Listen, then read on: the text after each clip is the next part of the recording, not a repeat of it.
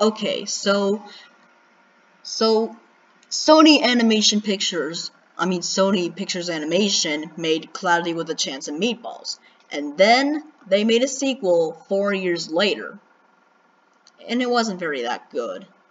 People were usually had some hard criticism on this film. Okay, so will this film be as good as good as the first film, or will it be as bad as Animat thinks about the movie? Let's find out.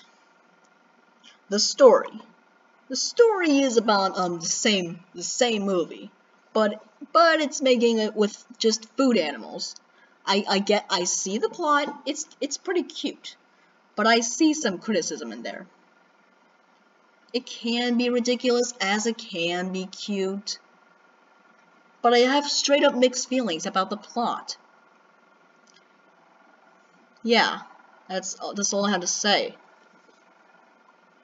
And and also, now we're gonna focus on um, the animation. The animation is really good. I appreciate Sony's hard work on the animation and their characters.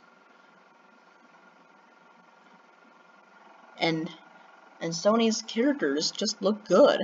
And the food animals look really beautiful. And how th this gigantic world, it's so amazing. Just like in the first film but the animation looks really good. But even the character designs look good. Good job, Sony. And? But I do find a little bit criticism in the animation. Is that, that the characters can sometimes be too a little bit over-exaggerated, but they still look good anyways. Okay, now we're gonna focus on the characters. Flint's Flint's? I have mixed feelings for Flint now. And I have mixed feelings for Sam.